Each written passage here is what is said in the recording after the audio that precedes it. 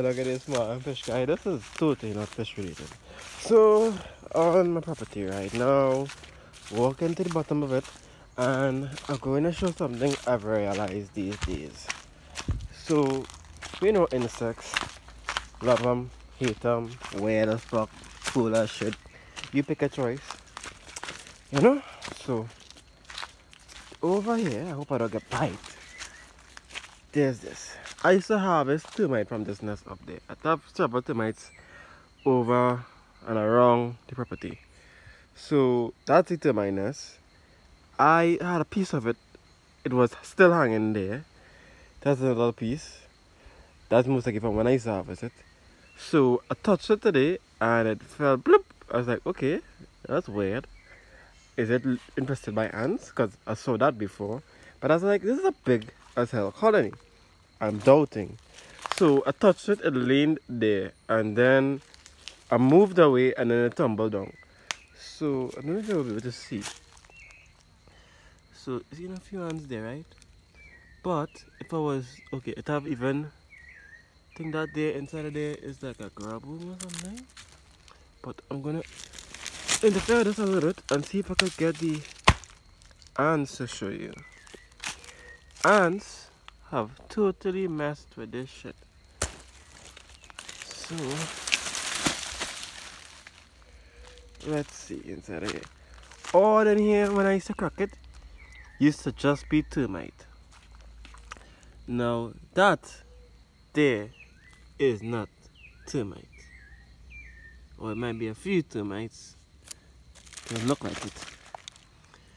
Because they're yellow, and these are not yellow. Now, that doesn't show what that is. A lot of these things are definitely not termite. I've seen a lot of termite. And definitely from this same nest, that's not termite. So now, don't even seen it walking around. But the ants are in here, and from my knowledge, I know they care for worms and all those kind of nastiness and take sap off of it. But this is basically a termite nest that was run over by ants. Now I don't want to walk up there, which is when the ants just run up my foot. But I'll walk a little closer to this one and see if I get a better idea here. Don't want a snake to come out at me. So you could see all that ants getting on mad. And they hijacked this nest to the point it was sick and it fell straight off the tree. Straight off the tree. And I harvest them from, from nest and I don't destroy them. I take a little piece off and I'll take the next piece at some point in time, another month or the same month.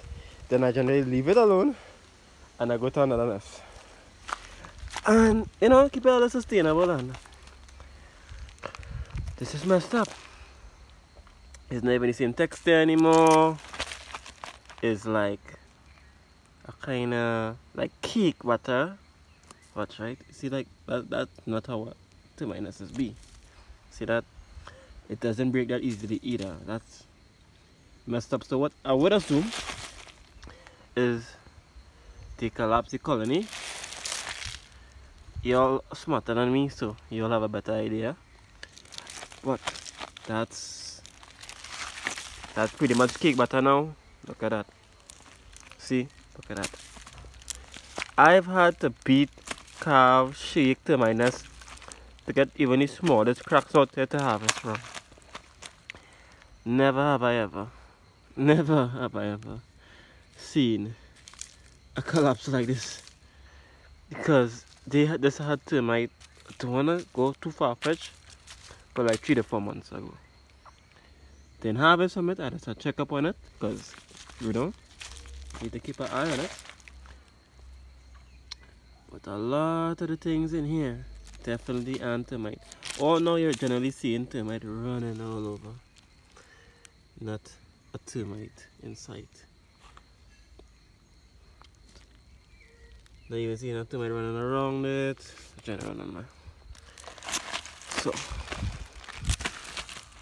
You know? Anyone might be asking, why does he have harvest termites? Well, if you didn't watch my other videos, it's to feed fishes.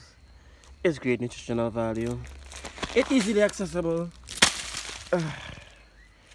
and I don't have to cultivate it in some special way, which was the idea in some kind of box, some kind of plastic box or some silliness. Then I was like, hey, I went looking around, so it had about four easily accessible nests, and I was like, well, that don't make no sense. So yeah, this is basically mush now.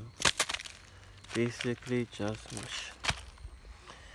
So thanks for watching. Like, subscribe for more content. Gonna just check under the and see if they are okay. This one is this one is dead.